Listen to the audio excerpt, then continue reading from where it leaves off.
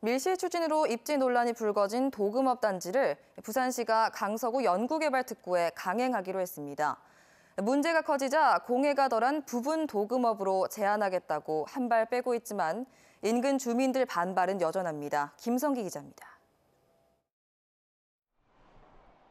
도금업 단지가 추진 중인 부산 강서구 연구개발 특구부지입니다. 도금업은 입주가 제한돼 있지만 부산시는 강행하겠다는 입장입니다. 하지만 KNN이 입수한 공문을 보면 부산시는 이미 1년 전 미래부로부터 입주 불가 통보를 받은 것으로 드러났습니다.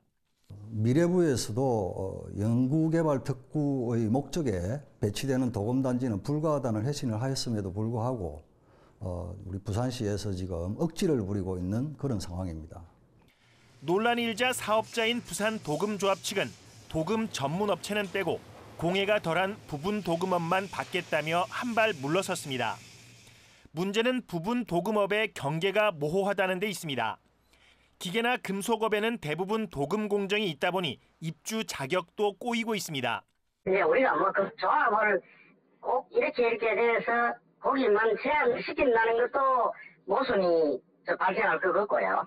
이 같은 사실이 알려지면서 반대 움직임도 나타나고 있습니다. 도금단지 예정지 맞은편에 있는 마을입니다.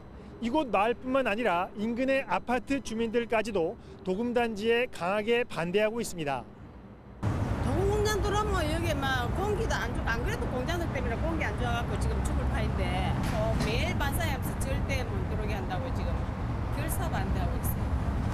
특히 인근의 클라우드 데이터 센터 업체들은 도금 단지의 미세먼지가 서버에 치명적이라며 반발하고 있습니다.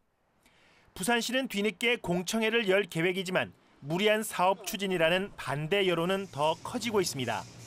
KNN 김성기입니다.